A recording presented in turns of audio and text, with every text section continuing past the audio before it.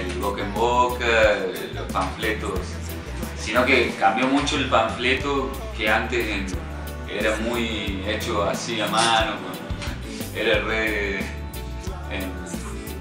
artesanal, digamos. Y hoy en día, bueno, tenemos programas, bueno, ustedes saben que tenemos muchos programas para hacer afiches de mucha mejor calidad y a lo mejor imprimirlos en cantidad al menos. Me parece que el tema de, mm, de los panfletos y eso Sí, tenía su llegada, pero en este momento como que la comunicación está más en internet. Lo hemos hecho los panfletos. Entonces salido hemos salido a pegar carteles a las 12 de la noche. Todo lo que sea, desde, no sé, un mensaje de esto a los amigos hasta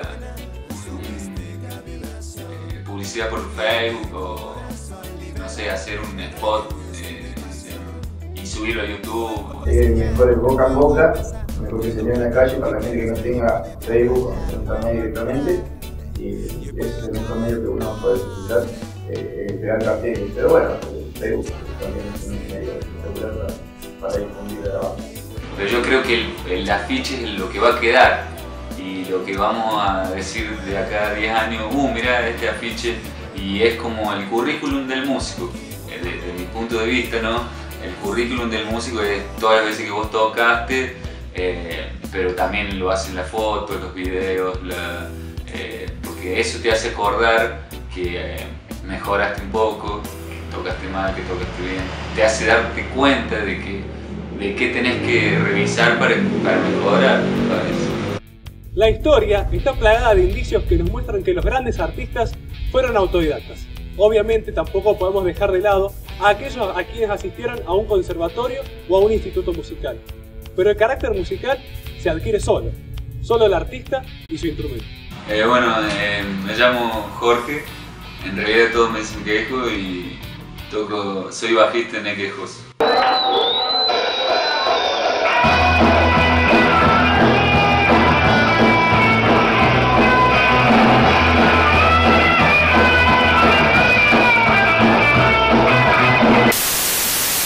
Hola, soy Rubén Jofredizu, tecladista de piloto y bueno, músico y productor musical de acá de San Luis.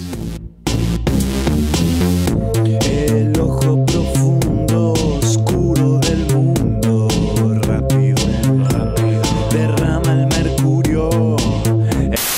Yo no tenía batería, siempre me había gustado tocar la batería, pero nunca había, ido a aprender, nunca tuve una, más que una silla y una baqueta que me había comprado, pero pero no, me compré la batería y, empecé a tocar. Ahí fui, aprendí, estuve seis meses y lo demás lo aprendí solo porque me gusta, todo de oído, porque con el amor que, que siente por el instrumento.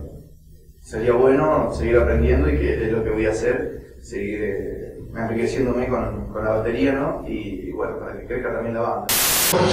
Con un tema propio. El primero, el de siempre. Siempre.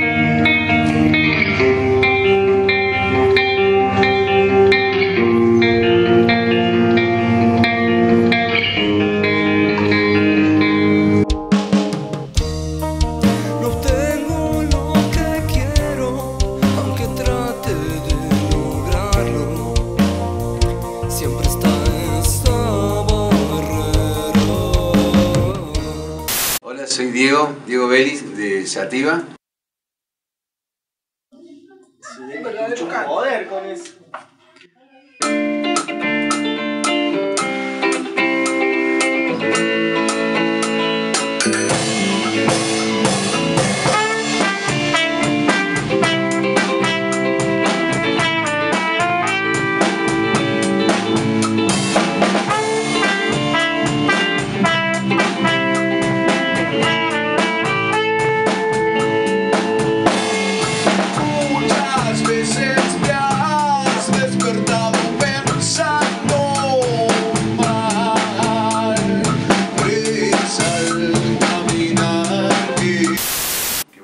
Conocer un montón de músicos, que no todos quieren vivir de la música, que traten de encontrar un par, de mantenerse, si sea dos y si es uno, bueno, que sigan para adelante, que cuando tengan que tomar decisiones no duden, que si ellos siguen el objetivo de vivir de la música, eh, se van a dar cuenta de las decisiones que tienen que tomar. Yo creo que no se vive de la música, se vive para la música.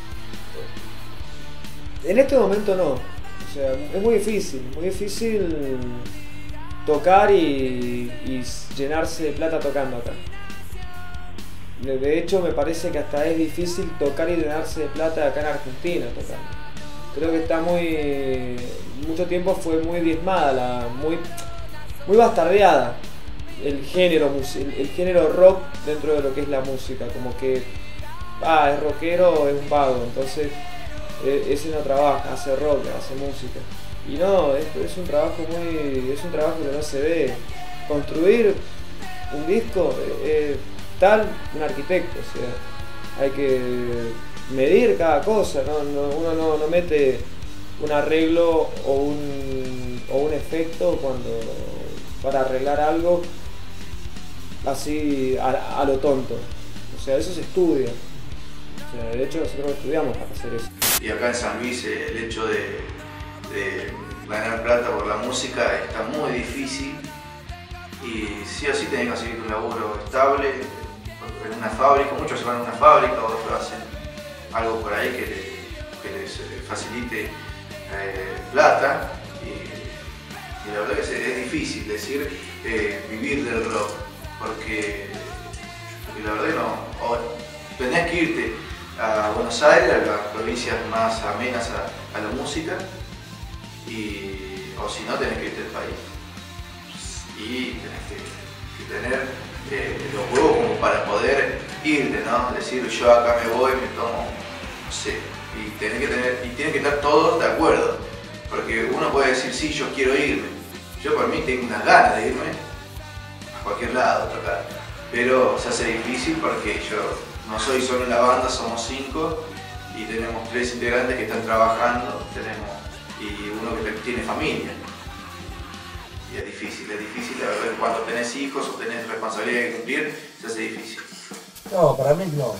Yo creo que no, que no se puede vivir la música por el hecho mismo de- del tema de las entradas, una entrada muy barata, y tampoco tenés muchos lugares para tocar en San Luis. O sea, si el único lugar donde tenés para tocar rock o tenés para tocar tu tema Panacea, y los otros lugares, eh, no, no, o sea, por ahí nos quieren imitar y- o, o quieren hacer algo parecido, pero en realidad ellos piensan que es un negocio, cuando en realidad no es un negocio.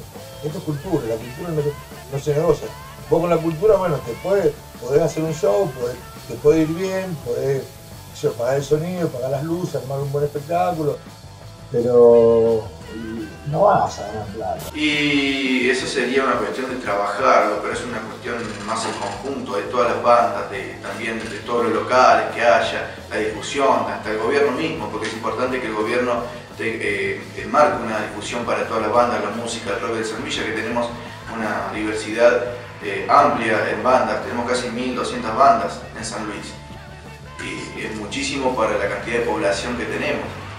En sí hay muchos toques, todos los fines de semana, semanas hay toques eh, en San Luis, pero no ves tanta cantidad de gente que asista. Y lo importante es que la, que la gente se anime. Obviamente podemos encontrar en cada persona una concepción diferente del rock. Algunos mencionarán la definición del diccionario. En mi caso, creo que no lo haría. Y también puede predecirse que muchos artistas dejarían cualquier actividad para dedicarse exclusivamente al rock. Pero eso no responde a mi pregunta. ¿O sí?